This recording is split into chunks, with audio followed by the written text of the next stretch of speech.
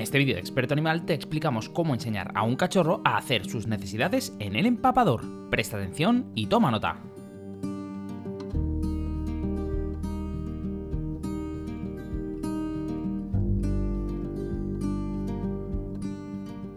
Establece rutinas y observa su lenguaje.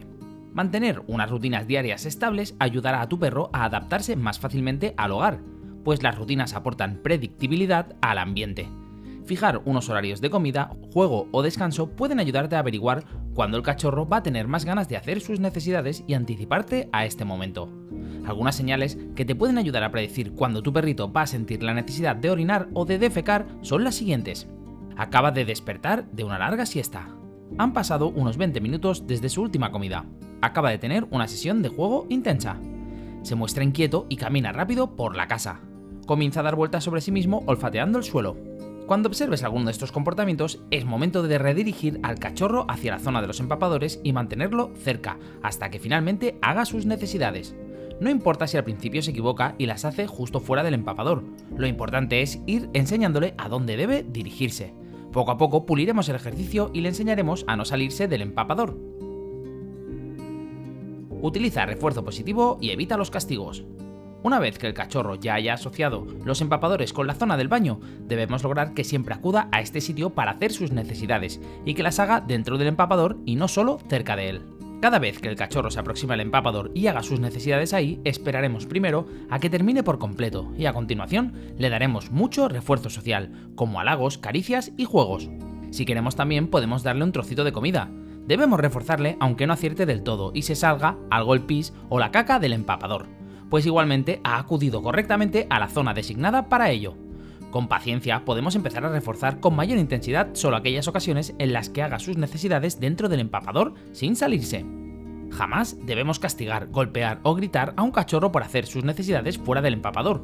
Un cachorro no va a aprender absolutamente nada bueno mediante castigos e intimidaciones, y lo único que conseguiremos es que se asuste, nos coja miedo, tarde más tiempo en aprender o incluso que empiece a realizar conductas indeseadas para evitar el castigo. Descubre otras cosas que necesita un cachorro además de los empapadores en el vídeo de la tarjeta. Elimina olores en el resto de la casa. Cuando el perro hace piso o caca, en una zona de la casa deja una señal olfativa que invita a volver a ese mismo lugar la próxima vez. Para evitar esto, debemos limpiar muy bien la casa cada vez que el perrito haga sus cosas donde no debe, utilizar productos enzimáticos o que contengan oxígeno activo, otros productos como la lejía o el amoníaco no son capaces de eliminar completamente estos olores e incitan todavía más al perro a orinar de nuevo. A veces el cachorro puede sentir preferencia por orinar sobre aquellos objetos que más huelen a nosotros. Esto de nuevo es una respuesta a un estímulo olfativo y no debemos castigar a nuestro cachorro por ello, pues es un comportamiento natural y debemos educarle para que lo modifique y ofrecerle alternativas en lugar de reñirle y causarle confusión el cachorro puede tardar desde pocos días hasta dos o tres semanas en hacer sus necesidades en el empapador. Así pues, debemos ser pacientes, comprensivos y constantes. ¿Cuándo quitar el empapador a un cachorro? Cuando hayamos enseñado al cachorro a hacer sus necesidades en el empapador y acuda siempre a ellos, podemos comenzar a retirar algunos. Esto suele empezar a hacerse en el momento en el que el cachorro comienza a salir a la calle para de esta forma iniciar un entrenamiento de transición a hacer pis y caca en el empapador y empezar a hacerlo en la calle. Aquí arriba te dejamos un vídeo en el que te explicamos cómo enseñar a un cachorro a hacer sus necesidades en la calle. Durante un tiempo, el cachorro hará sus necesidades en la calle, pero continuará utilizando el empapador que le hayamos dejado en casa. Cuando la tendencia a hacer sus cosas durante el paseo sea mayor que hacerlas en casa, retiraremos ya por completo todos los empapadores y únicamente reforzaremos la conducta de orinar y defecar en la calle.